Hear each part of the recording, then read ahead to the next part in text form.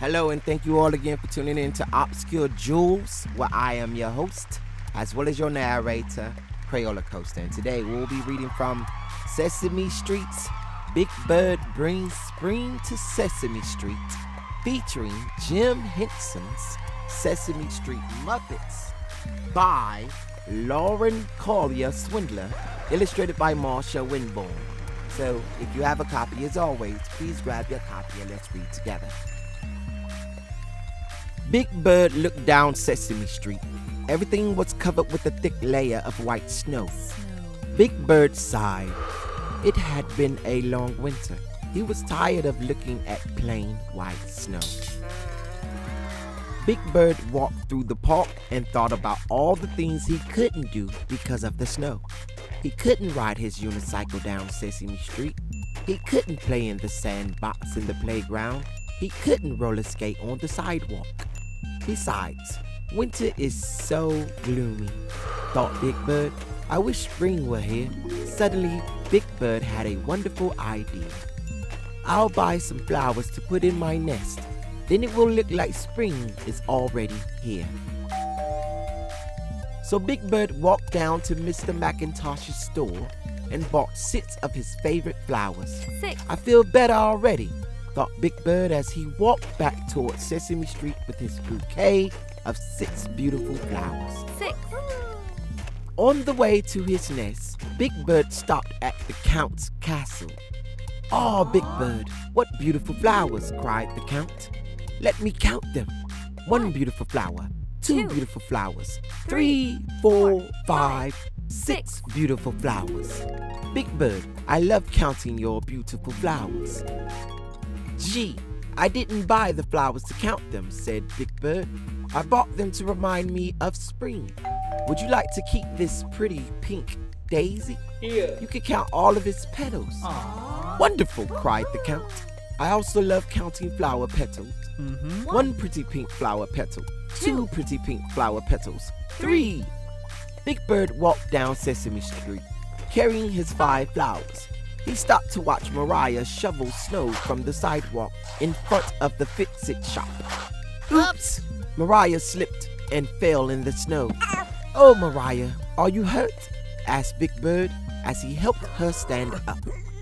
No, Big Bird, I'm not hurt, but I am tired of winter and shoveling snow, she said. Here, Maria, said Big Bird, you may have one of my flowers. It will help you feel happy again. Thank you, Big Bird, said Maria, taking the orange tiger lily. Big Bird walked on down Sesame Street with the four flowers he had left. He found Grover sitting sadly on the steps. Oh my goodness, said Grover, unhappily. Furry old Grover is very blue. Of course you are blue, said Big Bird. You have blue fur. No, no, Big Bird. I mean that I am very sad, explained Grover. I cannot ride my scooter in the snow. Maybe this blue pansy will make you feel better, Aww. said Big Bird, and he gave it to Grover. Here. Big Bird looked down at his three Three. flowers and he noticed that one of them was bent over. Uh oh, said Big Bird, holding up the purple iris. This flower's stem is broken. The lid of the trash can clanged open.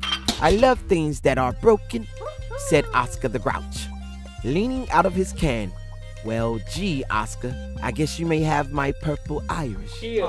Thanks, Bird, said Oscar. They do. Grouches like flowers that are bent and broken. He, he, he. He grabbed the purple iris and slammed down the lid of the trash can. Big Bird clutched his last two Two. flowers, then he saw Ernie. Hi, Big Bird, said Ernie. You look cold. I'm so cold my tail feathers are frozen, answered Big Bird. Where are you going? I'm going to see Betty Lou. She's sick in bed with the flu. I wish I had something to take her to cheer her up. Oh, said Big Bird, looking down at his last two Two. flowers. Do you think she would like a yellow daffodil? Oh, yes. Mm-hmm. Thank you, Big Bird.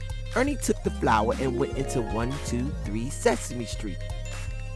Big Bird went into Hooper's store to get warm.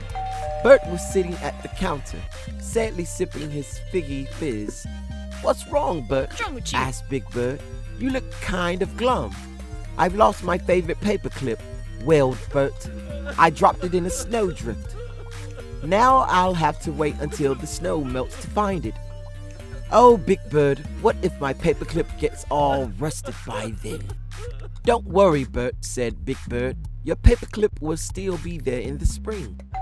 Oh, Big Bird, sighed Bert. Then he looked at the single rose Big Bird was holding. Say, what are you going to do with that beautiful rose? he asked. Excuse me? Uh, I'm going to give it to you, Bert. Aw. Big Bird gave Bert his last flower and left Hooper's store. Empty handed, Big Bird walked back up Sesame Street toward his nest. He had given away all six of his flowers. Oh well, he thought, soon it will be spring. When he got to the lamp post, Big Bird turned around. Sesame Street looked different. The plain, white, snow covered street was splashed with bright colors. The flowers Big Bird had given to his friends were blooming up and down Sesame Street. Big Bird had brought spring to Sesame Street. The end. And that was Sesame Street's Big Bird Brings Spring to Sesame Street by Lauren Collier Swindler, illustrated by Marsha Winborn, featuring Jim Henson's Sesame Street Muppets. And as always, thank you all for tuning in, liking, subscribing, sharing, interacting, all the above. And as always, keep reading. Thank you. Bye.